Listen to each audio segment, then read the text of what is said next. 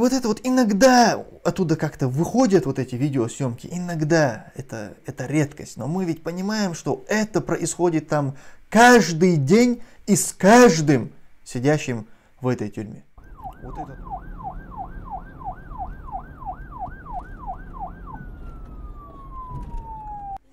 Я выложил там а, пост, призыв а, одной чеченской правозащитницы.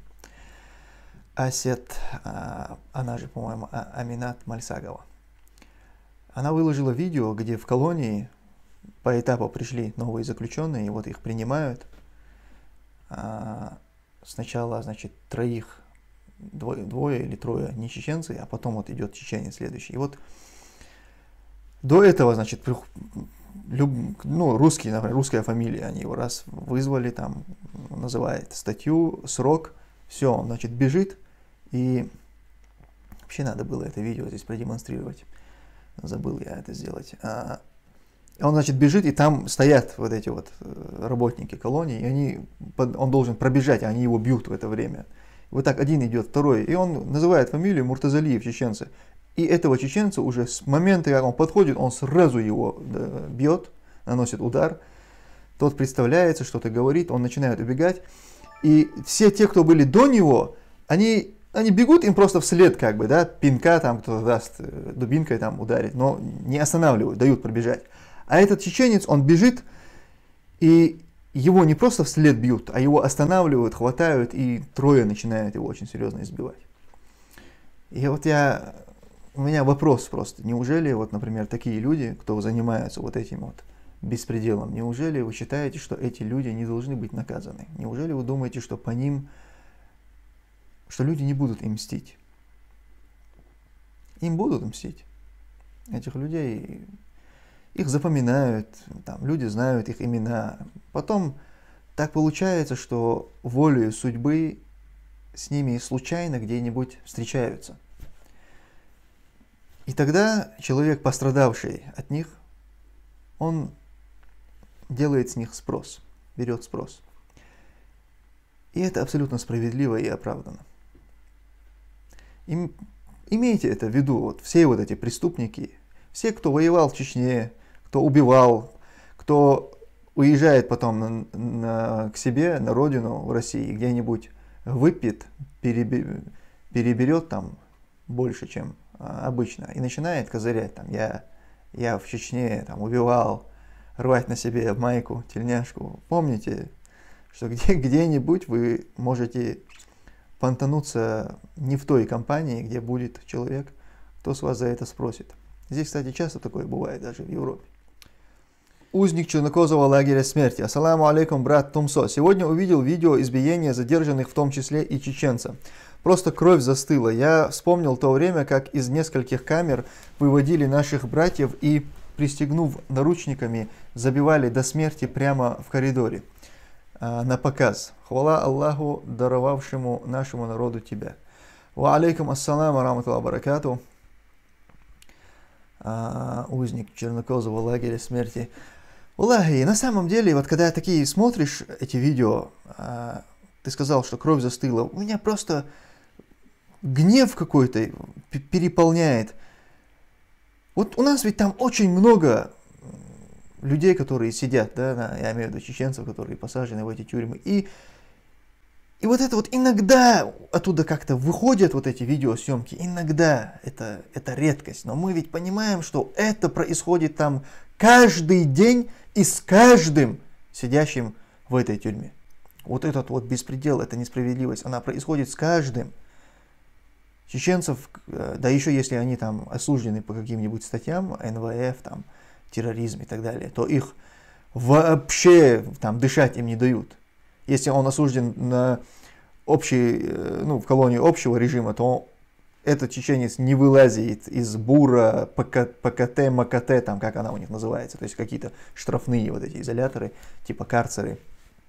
Если он осужден строгого режима колонии, то там тоже он обязательно где-нибудь э, э, в более там каких-то суровых условиях будет жить. И вот эти вот избиения, там этап, не этап, это происходит с каждым. Посмотрите на этого Аслана Черкесова. Я посмотрел его фотографию, вот эту последнюю, которую, которая сейчас вышла с этим обращением, и, и, и первые его фотографии, когда его только сажали. Это все уже, это, это человек-инвалид. Полностью они его уничтожили. Был здоровый парень, а сейчас он уже выглядит как э, больной, э, ну, нездоровый, как минимум, человек. Очень худой. Вот эта вот система, вот эта российская тюремная система, которая уничтожает людей, унижает, она не призвана, как это не как в Европе. В Европе тюрьма, а, она для того, чтобы ограничить свободу этого человека, лишить его свободы. То есть а, изолировать его от общества. И тем самым его перевоспитать ну, они надеются, да, что они его перевоспитают. Там даже какие-то работы ведутся по перевоспитанию. Но основная цель – это его наказать, наказать лишением свободы и изолировать его от общества, убрать куда-то его. То в России ведь это не так. В России тюрьма – это ее первая, самая главная ее цель – это унизить, уничтожить, растоптать человека, а все остальное, вот это вот э, изоляция его, от общества. Это, это только как бы сопутствующее. Так. То есть уничтожить, унизить, растоптать, изолировав его от общества. То есть вот так это звучит в России. И вот это то, что происходит, это вызывает огромный гнев. И я, я еще раз повторяю, пусть потом не жалуются, что им за такое вот поведение им мстят. Я как-то говорил, что есть какие-то структуры, а, работ, работники которых поголовно все должны будут преследоваться. Вот, поголовно все. Пусть они об этом помнят, вот эти вот все работники всяких колоний и так далее. Поголовно все должны преследоваться. Все являются преступниками. Вот по умолчанию работает он там, преступник, преследуется. И пусть и далее уже просто нужно доказать тяжесть его а, преступлений. Непосредственно пытал ли, непосредственно бил ли, или просто помогал, или просто умалчивал, скрывал, что коллеги так делают, или просто своим молчанием поощрял. Понимаете? Но преступники все, каждый, каждый работник вот этих колоний российских, каждый является преступником. Отдельная такая каста людей, все должны преследоваться. По закону. Уточ, уточнение важное. И хочется в этом контексте сказать, да помилует Всевышний Аллах нашего брата Юсуфа Тимирханова. Да дарует ему Аллах степень шахида. Махунаху вам. Тумсо, салам алейкум. Тумсо, ты не прав. Лично я не хочу, чтобы меня показывали на весь мир ни, ни фото, ни видео, и это нормально, что люди скрывают свое лицо. И это не значит, что мы боимся кого-то. Не все хотят быть блогером, как ты, например, не в обиду. Брат, ты делаешь благое дело. Алейкум ассалам. Не соглашусь я с тобой, Бамут.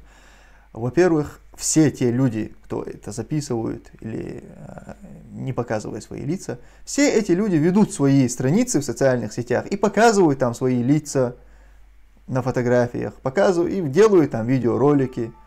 Они не скрывают, когда они кушают шашлык, они не скрывают своих лиц. Когда они едут на свадьбу к своему очередному брату, который женился здесь в четвертый раз, они тоже не скрывают свои лица. У них нет проблем с тем, чтобы не светиться. Они, это не те люди, которые не хотят себя светить. Это не те люди, которые убеждены там из-за каких-то религиозных соображений, что фотографироваться нельзя. Нет, это не те люди. Основная часть этих людей, 99%, они живут обычной жизнью, фоткаются, видео снимают. Но именно вот здесь, в этом а, вопросе, в этом флешмобе, они этого делать не хотят, потому что опасаются, боятся. Это первое. Второе, даже если люди не хотят этого делать, это та ситуация, когда надо делать. Потому что это там, то, что сегодня там в Германии постигло вот этих вот наших соотечественников, если это сейчас на это не отреагировать, если сейчас на это не обратить внимание, то это произойдет и дальше. Это придет и к вам, и во Францию, и в Бельгию, и в Голландию. Данию, Швецию, Норвегию, Польшу, куда угодно. Если здесь этот прецедент пройдет, это пройдет и в другом месте. На это надо реагировать. Поэтому...